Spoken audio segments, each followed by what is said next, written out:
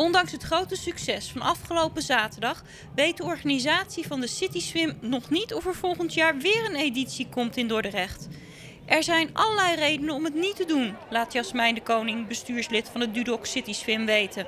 Grootste reden om in 2017 geen zwemtocht te houden in de havens is de druk op de sponsoren, die bij veel vraag af zouden kunnen haken. In Den Bosch is daarom besloten de City Swim één keer in de twee jaar te houden. Over twee weken wordt deze editie met het bestuur en de coördinaten van de vrijwilligers geëvalueerd en dan valt de beslissing.